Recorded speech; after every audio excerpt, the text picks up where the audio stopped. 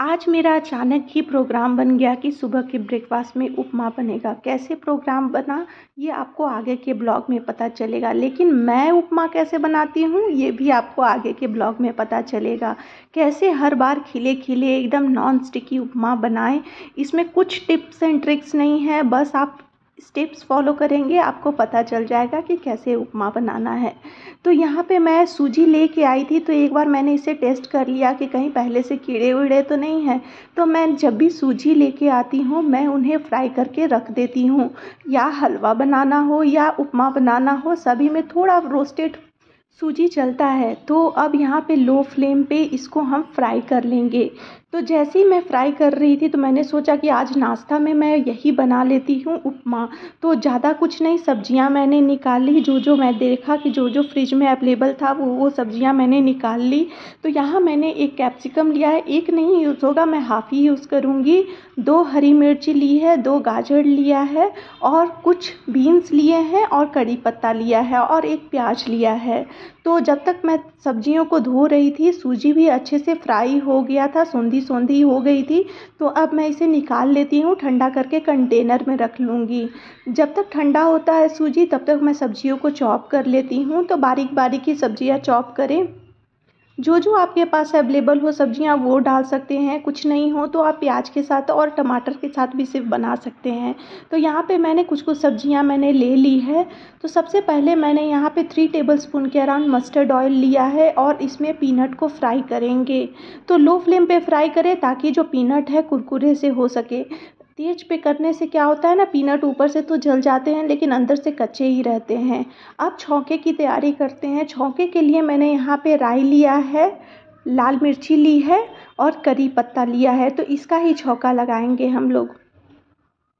अब one by one करके सारी सब्ज़ियाँ ऐड करेंगे। सबसे पहले ऐड करेंगे हम लोग प्याज और बीन्स, क्योंकि यही दोनों को पकने में थोड़ा टाइम लगता है। बाकी सब सब्ज़ियाँ तो हल, तुरंत में ही हल्की सॉफ्ट हो जाती है। तो प्याज और बीन्स को थोड़ी देर हम लोग डाल के फ्राई करेंगे, ताकि ये हल्का सॉफ्ट हो जाए और पक जाए। दो मिनट तक प्याज और बीन्स को फ्राई करेंगे और उसके बाद मैंने इसमें थोड़ा सा ग्रीन पीस ऐड कर दिया। ये फ्रोज़न ग्रीन पीस है, अभी तो सीज़न नहीं है तो मिलना मुश्किल है पीस। अब इसमें हम नमक ऐड कर देंगे और नमक के साथ इसे फ्राई करेंगे। जैसे ही सब सब्ज़ियाँ थोड़ी सॉफ्ट हो जाए, बाकी की दोनों सब्जियों को भी हम मैंने इसमें ऐड कर दिया, जैसे कि गाजर और कैप्सिकम। तो अब ये भी तुरंत सॉफ्ट हो जाएगी, ज़्यादा टाइम इस पर भी नहीं लगेगा, थोड़ी देर ही फ्राई करेंगे क्योंकि नमक पहले से डला हुआ है तो तुरंत ये भी सॉफ्ट हो जाएगा। मैंने यहाँ पे वन बाय फोर्थ कप सूजी लिया है, जो अभी मैंने तुरंत ही रोस्ट किया था। आप रोस्ट किया हुआ ही सूजी यूज़ करें, इससे ही खिले खिले बनते हैं उपमा।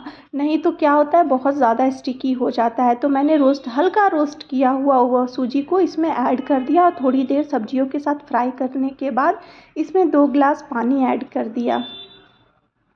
थोड़ी देर एक दो एक उबाल आने के बाद हम लोग क्या करेंगे ना, फ्लेम को लो कर देंगे ताकि सूजी पकनी ज़्यादा ज़रूरी है। तो जैसे ही एक उबाल आएगा, हम लोग इसे बिल्कुल ही लो फ्लेम पे कुक करेंगे ताकि सूजी अच्छे से कुक हो जाए। तो मैं सब्ज़ियाँ तो बहुत सारी डालती हूँ क्योंकि मुझे पसंद है। अगर नूडल्स बनाऊँ या कुछ भी बनाऊँ, मैं सब्ज़ियाँ जितनी मिलती है, मैं ऐड कर देती हूँ। ढक के लो फ्लेम पे थोड़ी देर पकाने के बाद ये सूजी पक गया है पूरी तरह से। अब इसमें फ्राई किए हुए पीनट थोड़ा सा धनिया पत्ता, दो हरी मिर्ची डाल के अच्छी तरह से थोड़ी देर के लिए इसे चलाएँगे। अभी भी ये थोड़ा मॉइस्ट है, दिख रहा है तो अभी लो फ्लेम पे इसको पानी को वेपर बनने के लिए छोड़ देंगे। धीरे धीरे ही पानी वेपर बनता है और सूजी नॉन स्टिकी उपमा के रूप में आती है। आप इस स्टेज पे भी बंद कर सकते हैं। ठंडा होने के बाद थोड़ा उपमा नॉन स्टिकी हो जाता है, लेकिन मैं तो इसको थोड़ा फ्राई कर लेती हूँ ताकि बिल्कुल ही नॉन स्टिकी टाइप सा दिखे। बस हमारा उपमा बन के रेडी है। चलिए प्लेटिंग कर लेते हैं।